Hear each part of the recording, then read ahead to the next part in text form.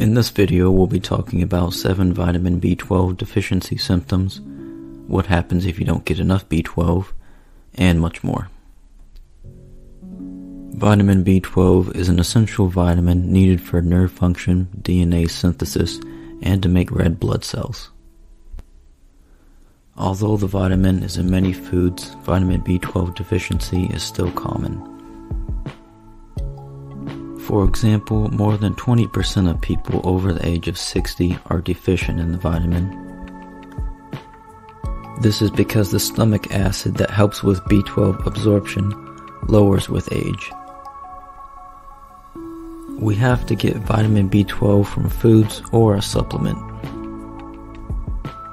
For this reason, vegetarians and vegans tend to have low levels of B12 since they tend to not eat foods with high B12, like meat, fish, and eggs.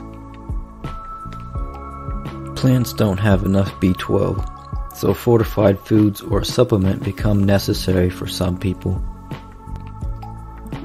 Also, some medical conditions and medications may also prevent B12 absorption. We'll explain how to get enough B12 near the end of this video. The recommended daily intake of B12 for an adult is 2.4 micrograms. And the best way to find out if you are deficient is to get a vitamin B12 deficiency test. The first and most common vitamin B12 deficiency symptom is headaches. From kids to adults, the number one reported symptom of low B12 is headaches. One 2019 study found that about 50% of 140 people who were experiencing migraines had low levels of B12. So if you have frequent headaches, then it's possible you're deficient. The second sign of a vitamin B12 deficiency is tiredness.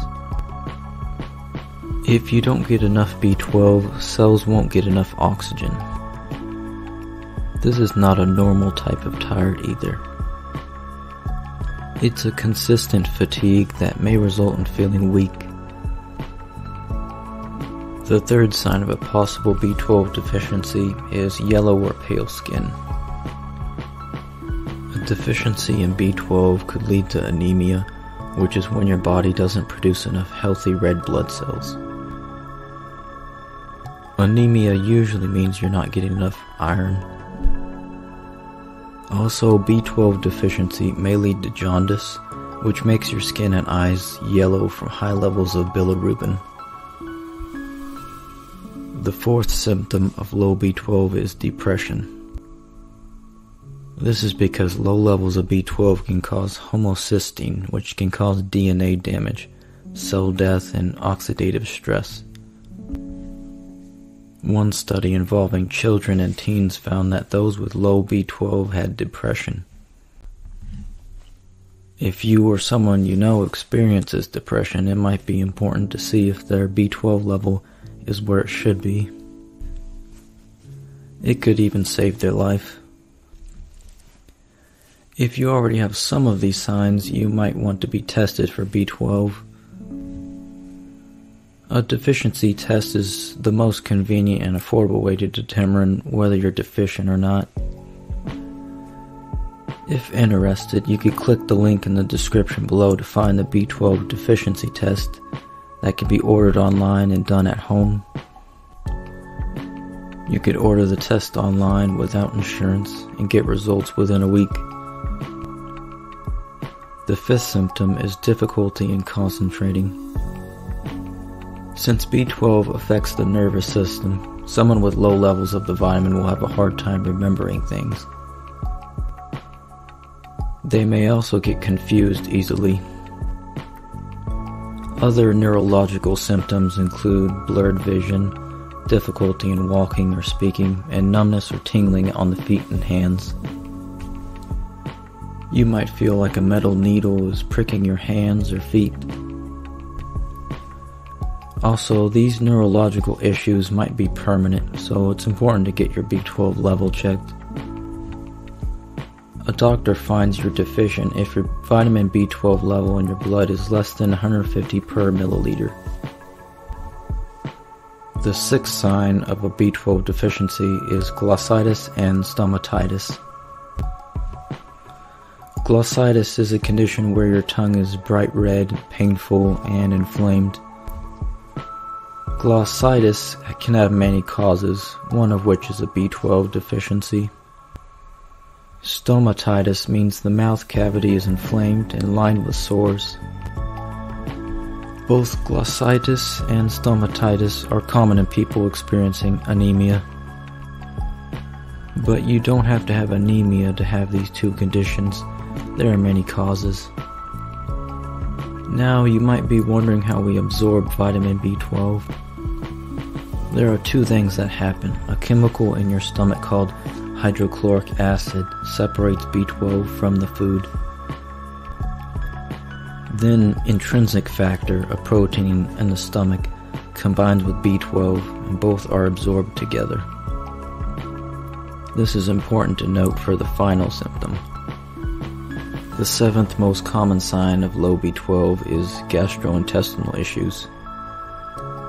This includes constipation, gas, and diarrhea.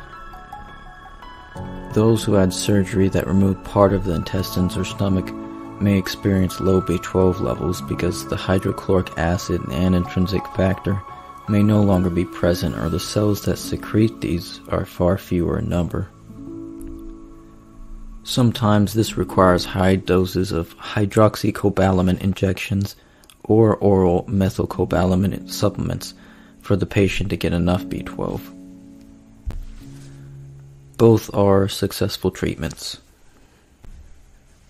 Now that you know seven of the common signs of a vitamin B12 deficiency, here is a list of those most at risk of low B12. People that don't eat B12 foods, which might include vegetarians and vegans. Eating fortified foods that contain B12 is one simple fix. Also, gastrointestinal issues might impact absorption of the vitamin. These include celiac disease and Crohn's disease. People 75 and older are also impacted by low B12. That's because they have a hard time absorbing B12. Some medications like metformin and birth control pills can block B12 absorption. People that drink alcohol heavily are also at risk of low B12. How to fix a vitamin B12 deficiency. A standard multivitamin gives you more than enough needed for B12. The daily recommended amount for B12 is 2.4 micrograms but many multivitamins have around 6 micrograms. So you're getting almost 3 times what you need from a good multivitamin. Foods high in vitamin B12 include chicken, red meat, eggs, and fish. For people that don't eat these foods, fortified foods like some breakfast cereals and breads can be helpful. Check the nutrition label to see how much vitamin B12 each food contains. Sometimes a single bowl of fortified cereal can give you all you need of vitamin B12 and many other vitamins. For those with extremely low levels of vitamin B12, daily high dose B12 pills or weekly shots of B12 might be needed